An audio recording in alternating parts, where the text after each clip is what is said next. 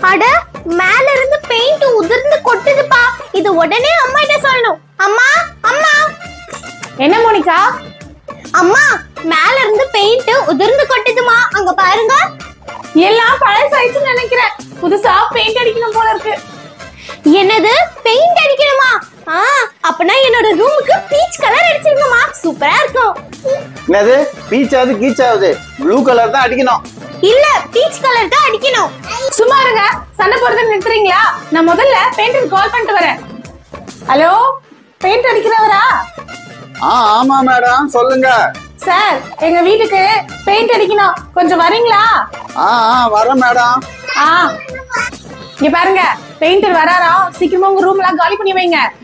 சரிம்மா வானே நம்ம போய் ரூம் எல்லாம் காலி பண்ணலாம். மோனிகா இந்த டேபிள் தூக்கி வெளியே போடு. என்னது இவ்ளோ பெரிய டேபிள் நான் எப்படி தூக்கி வெளியே வைக்கிறது?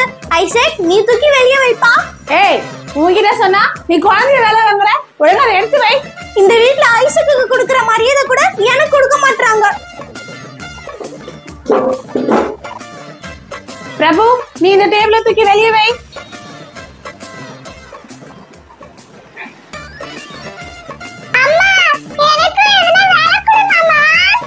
உனக்கும் எதுனா வேலை கொடுக்கணுமாப்பா? இந்தா இது பத்திரமா வச்சுக்கோ. மோனிகா இந்த ஃப்ரிட்ஜை தூக்கிட்டு போயிடலாமா?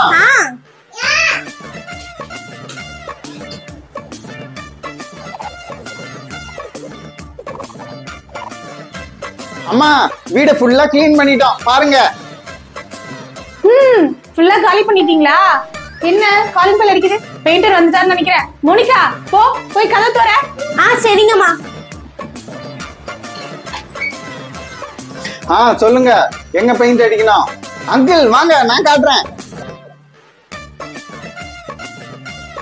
அங்கிள் இதுதான் ரூம் இந்த ரூமுக்கு தான் நீங்க பெயிண்ட் பண்ணணும். ஆ சரி சரி அடிச்சிடலாம். நம்மளும் போய் பார்க்கலாம். என்ன கலர் பெயிண்ட் அடிக்கிறாங்கன்னுட்டு.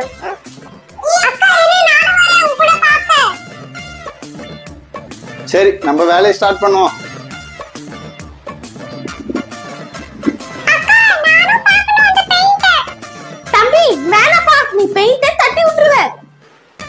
பசங்களா நீங்க எங்க இருந்து வரீங்க? போங்க போங்க. என்ன வேலை செய்ய விடுங்க. சரிங்க அங்கிள் வா இசக்குள்ள போலாம்.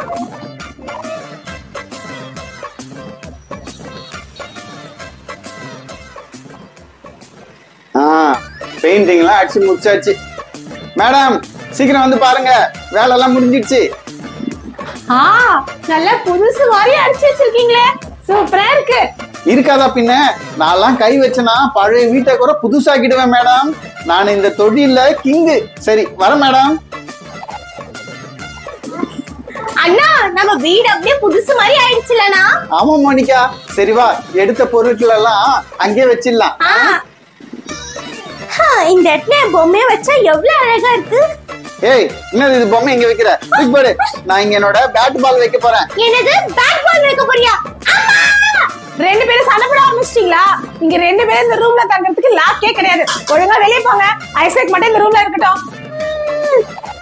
ரொம்ப ஆட்டம் போடாத. அம்மா இனிமேட்டு நாங்க சண்டை போடாம இந்த ரூம்லயே தங்கிக்கிறோம். ஆமாமா நானும் சண்டை போட மாட்டேன். நாங்க இங்கேயே தங்கிக்கிறோம். சரி சரி. நான் போய் சமைக்கிற வேலையை பாக்குறேன் 你别笑